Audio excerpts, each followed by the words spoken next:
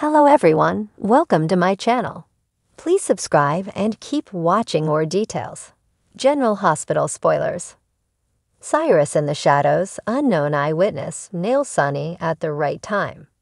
General Hospital, GH, spoilers note fans have been scratching their heads about how the PCPD learned that Alexis Davis's, Nancy Lee Grahn, car was at the Quartermaine mansion during the time John Jagger Cates, Adam J. Harrington, was shot.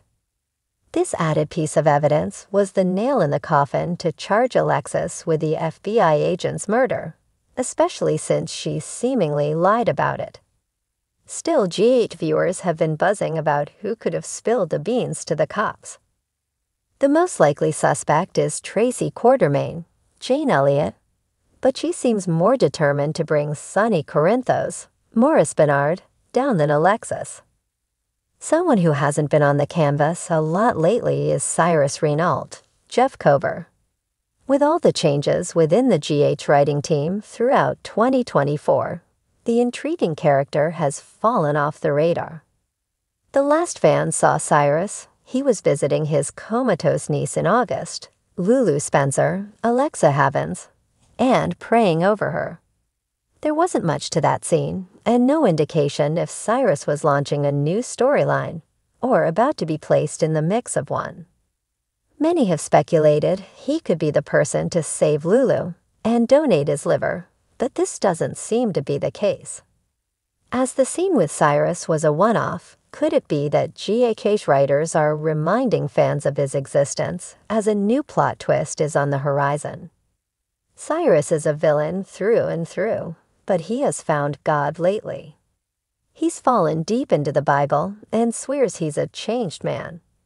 However, there haven't been many on screen opportunities to see if Laura Collins, Genie Francis, brother has truly evolved into someone better.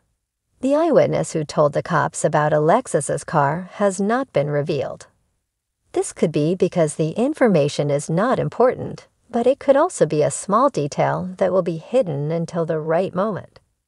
Cyrus has a long-time feud with Sonny Corinthos, Maurice Benard, and while he's been quiet in storylines, this could only mean writers are keeping the character on the down low for an explosive plot twist.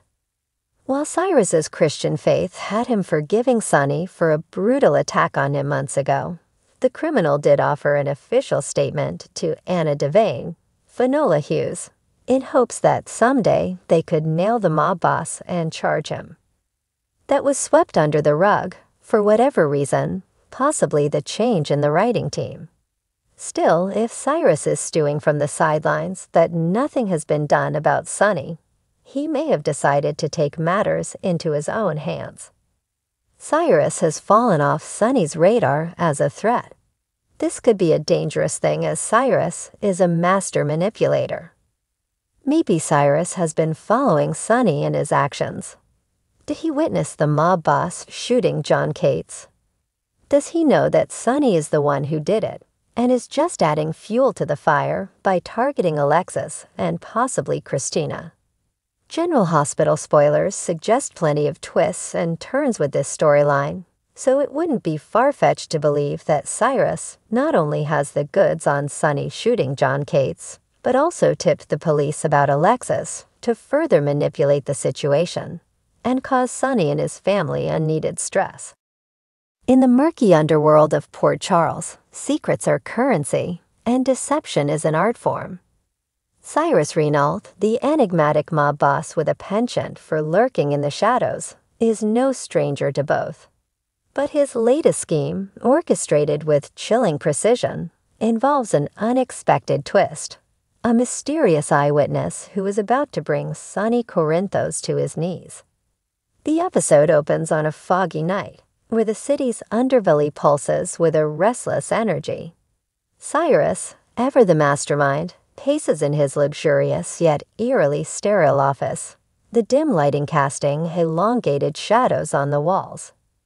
His sharp eyes gleam with a malevolent brilliance as he sifts through a stack of confidential files. The weight of his plan is evident. He's been waiting for the perfect moment to strike, and it's fast approaching. Sonny Corinthos, the kingpin of Port Charles, is blissfully unaware of the storm brewing. His life is a delicate balance of power and peril, with every decision he makes reverberating through the city's criminal hierarchy. At the moment, Sonny is preoccupied with a pressing issue involving his family, leaving him slightly vulnerable. A gap Cyrus has meticulously exploited. Enter the unknown eyewitness, a shadowy figure whose role in this dramatic unfolding is crucial yet shrouded in mystery. We first glimpse this person in a dingy diner on the outskirts of town where the atmosphere is as thick with tension as the cigarette smoke hanging in the air.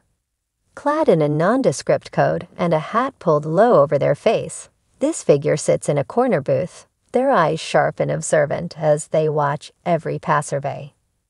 This witness, whose identity remains a tightly guarded secret, has been tracking Sonny's movements for weeks. They have seen things no one else hasn't gathered evidence that could dismantle Sonny's empire. Through a series of cryptic phone calls and clandestine meetings, the witness has been in constant contact with Cyrus, feeding him information and setting the stage for a dramatic confrontation. The plot thickens when Sonny's trusted enforcer, Jason Morgan, receives an anonymous tip off about a potential threat to their operations. Although initially skeptical, Jason's instincts tell him that something is amiss.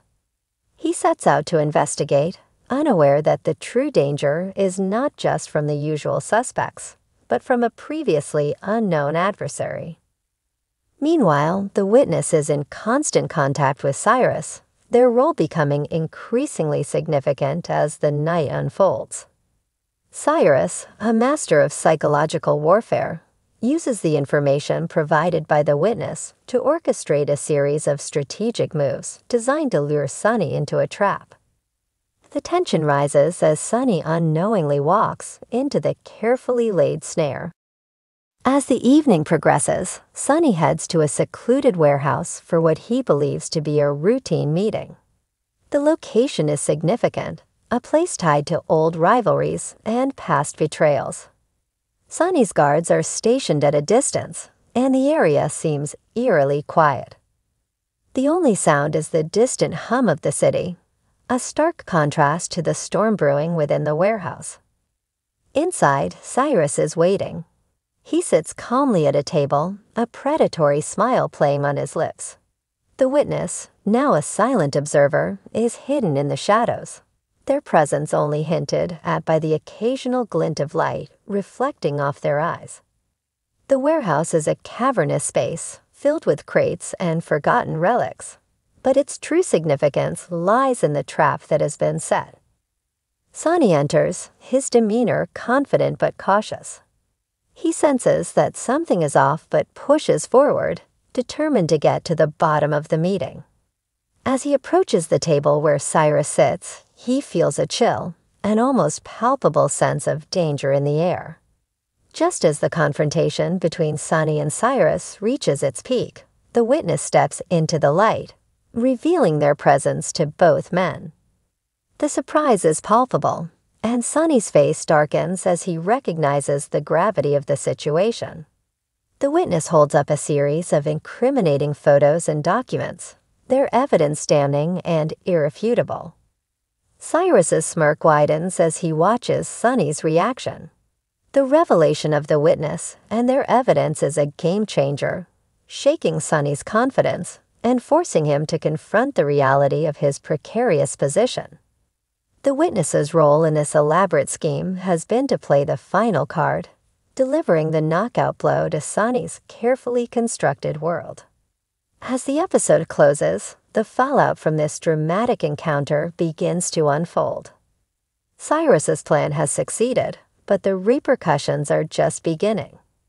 Sonny is left to grapple with the consequences of the exposure, and the witness's motives and identity remain a tantalizing mystery. Port Charles, ever a city of intrigue and danger, is now on the brink of a new era. The shadows that once cloaked Cyrus's ambitions are now illuminated by the stark light of truth, and the unknown witness has etched their place into the annals of the city's criminal lore. The stage is set for a new chapter in the saga of power, betrayal, and survival.